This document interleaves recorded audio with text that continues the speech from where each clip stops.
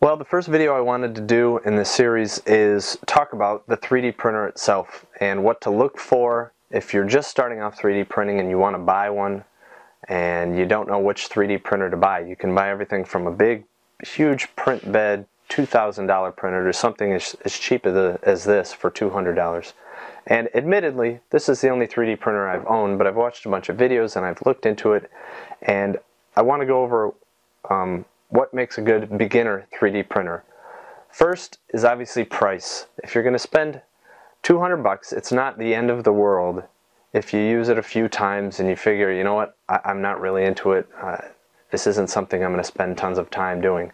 Whereas if you spend $2,000, you, you, better like it. It better be uh, something you're really into. So 200 bucks and price, that's a big, big reason why this was the most popular printer this year on Amazon. Um, the second reason is simplicity. Those more expensive printers, obviously, they have a bigger print bed, they have much more settings, accuracy, all sorts of reasons why they're better. This is simple. There's a Z axis, an X, and a Y. It's simple, it's basic, it's sturdy. There's no frills, but it, it does a good job at what it can do. And simplicity is good when you're just starting off. There's only three different menus, and I'm going to get into that a whole nother video when I go into depth on this printer itself. But you want for a beginner printer, you want it to be simple, you want it to be basic. You don't want to spend five hours setting it up. Um, out of the box, this thing is ready to go. You check the print bed level, um, you load up the file and you start printing. So something you want something basic. You don't want all these big elaborate gears and pulleys and belts. Um, that's when you know what you're doing and you, you know um, you know how all the big the basic stuff and then you can get into the more advanced things. So you want to keep it simple. Um, the third thing is I say quality, but you, you want something sturdy. I've seen some other printers that are they're made of plastic and they seem very flimsy. This is uh, a bent sheet metal.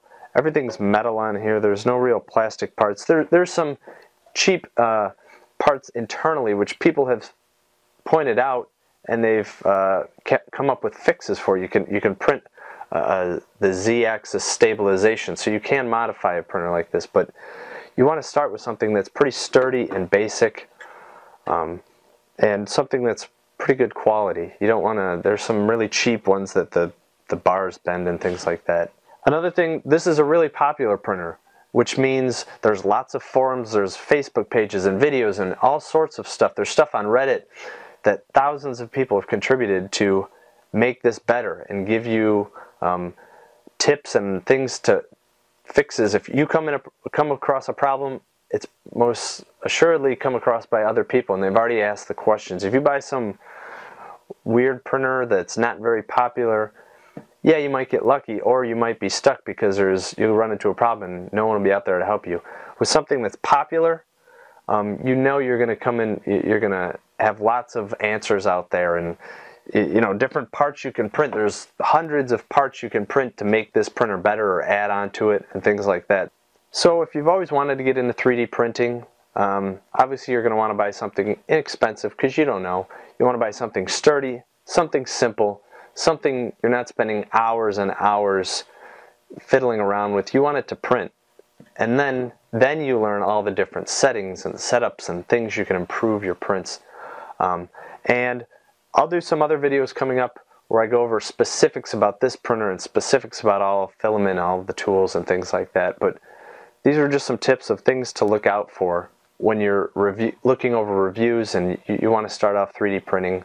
And um, you don't know anything about it. So uh, good luck.